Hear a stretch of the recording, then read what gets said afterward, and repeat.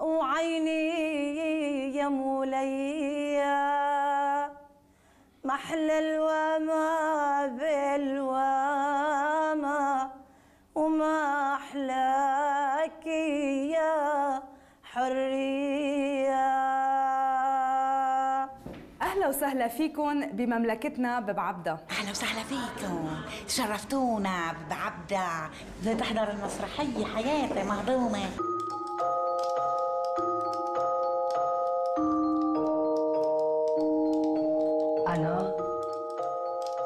مجرمة. أنا مجرمة. شو عملة؟ عملة كتير جرايم. بعرف عن حالي أني سجينة. محكومة 18 سنة بقضية قتل زوجي. لي أربع سنين بالحبس. موقوفة. طرقته سكينة و... أنا اسمي فاطمة الشامي. أنا اسمي فاطمة الشامي. أنا اسمي فاطمة الشامي. يلا على الدرج كشهرزاد وتحولوا للنساء اللي حكينا عنهم. جوزوني دغري إيه؟ 13 سنة.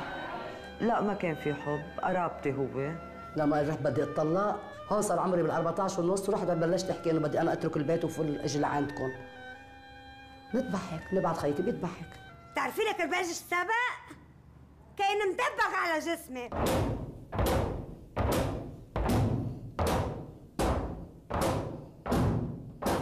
الرقص بشراييني ماشي. خلقت ربي بمشي رقص. كان حلمي يكون مرة مرة بكل معنى الكلمة. جاوبوني عليكي بالصبر. المرة بدها تتحمل. تحمل جوزها كيف ما كان. كنت أول شي أحس حالي حيوانة.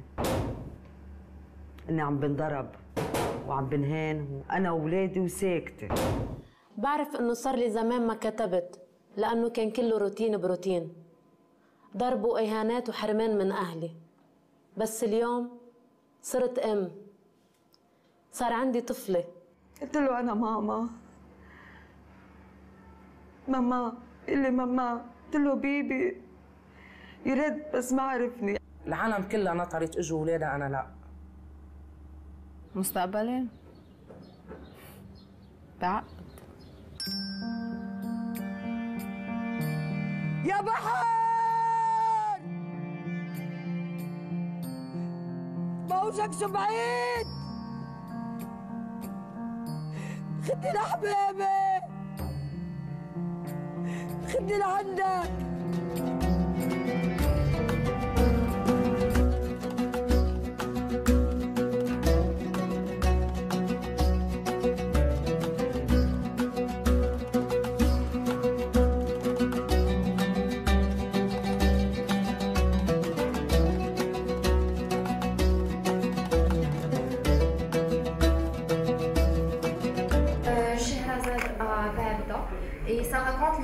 de, euh, de femmes euh, dans, une prison euh, libanaise qui préparent euh, une pièce de théâtre. Donc l'occasion sera pour nous de revenir sur, sur la thématique de la dramathérapie avec Fatim Fifani qui est psychiatre, psychothérapeute et spécialiste en thérapie cognitivo-comportementale.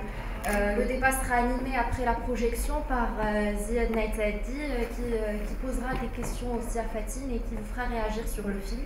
Mais en attendant, je vous souhaite bonne projection.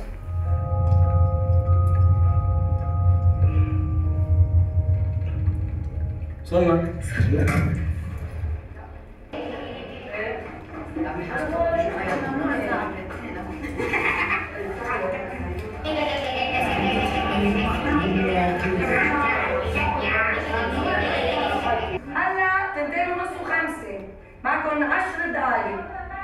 أو دغري يمكن إلكم يلا. على يلا؟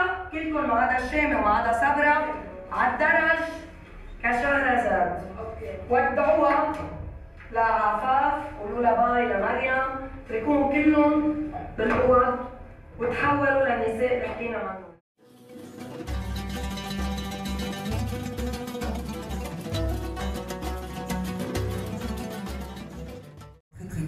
sur ces détenues libanaises euh, qui, grâce à cette euh, dramathérapie, on a pu découvrir euh,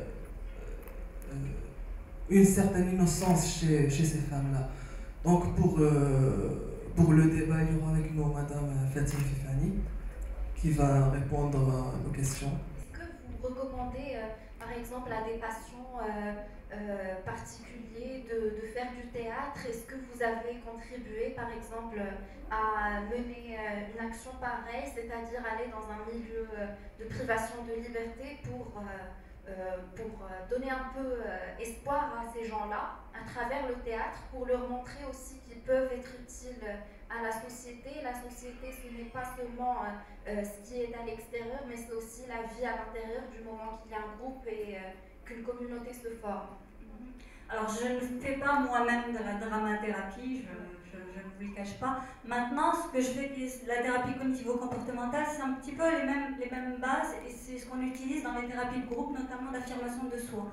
Et ça, ce qu'on a vu, donc ça, ils ont beaucoup, beaucoup travaillé sur l'affirmation de soi de ces femmes. D'ailleurs, on l'a vu à la fin, dans les témoignages, euh, il y en a une qui a dit que maintenant, elle ne va plus se laisser marcher sur les pieds, qu'elle va faire les démarches, qu'elle va faire en sorte que ce soit les gens qui viennent dans son univers et plus elle qui s'adapte. Donc ça a été euh, quand même très très intéressant sur le plan de l'affirmation de soi. Et ce sont des techniques qui aident énormément. Alors il faut savoir que ce ne sont pas seulement des techniques qui sont utilisées dans les prisons, mais également dans tous les milieux, par exemple dans les hôpitaux. Souvent pour des personnes qui ont des maladies graves ou qui doivent être hospitalisées de façon chronique et répétitive. Euh, parfois également dans les écoles, ça aide beaucoup les, les- les- élèves un petit peu timides, etc. Même en bas âge d'ailleurs, ça peut commencer très très tôt. Chez des enfants chez qui on va détecter des difficultés comme ça, une certaine timidité, une certaine euh, voilà, fragilité par rapport à l'affirmation de soi. et des choses dans leur enfance, on voit la maltraitance psychologique et corporelle.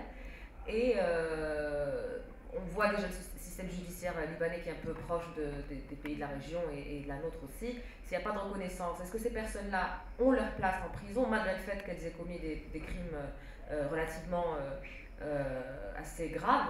Est-ce qu'elles ont leur place en prison ou est-ce qu'il leur faut plus un suivi psychothérapeutique euh, en deçà de, toute approche artistique ou, peut-être les deux? Dans le film, il y a certaines des protagonistes qui, qui semblent avoir clairement des soucis euh, donc, euh, d'ordre psychopathologique, c'est assez évident.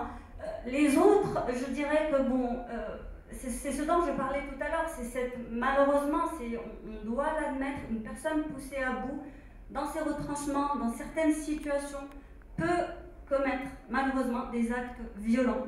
Savoir que l'être humain est capable du meilleur comme du pire, et, et, euh, surtout une personne qui n'a pas d'aide, qui se sent acculée au pied du mur et qui n'a pas d'autres moyens de défense va se défendre comme elle peut. Alors là aussi, on doit faire la part des choses, et ce qui est bien, ce serait bien d'ailleurs euh, C'est un peu dommage que euh, les, prisonnières ici n'aient pas de, prise en charge psychologique en prison. Ce qui se fait, dans certaines de nos prisons, il y a des psychologues qui sont présents justement pour, euh, pour soutenir les, prisonniers. Ça doit se faire en parallèle parce que la prison, au-delà de, son côté sanction, doit aussi être un, accompagnement, une certaine forme de réhabilitation. Et donc, euh, tant qu'à passer plusieurs années en prison, autant en profiter pour travailler sur soi et pour faire des choses. Donc, ça serait bien aussi de, pouvoir, euh, voilà. Le film, j'ai remarqué que euh, y a un il y a une grande euh, présence du problème conjugal ou bien domestique.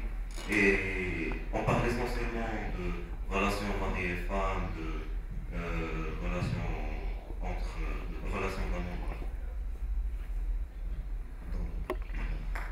De relations d'amour euh, à l'enfance ou bien des, choses comme ça. Est-ce que c'est le problème essentiel qui, qui pousse ces jeunes femmes à, à sortir et à devenir des délinquants Il est vrai que si ces personnes avaient trouvé l'amour dont elles avaient besoin chez elles, si elles avaient été écoutées par leur famille, par leurs parents, si quand elles s'étaient plaintes, elles avaient trouvé un soutien, peut-être qu'elles n'auraient pas été obligées d'en venir aux extrêmes de commettre des meurtres, ça c'est clair.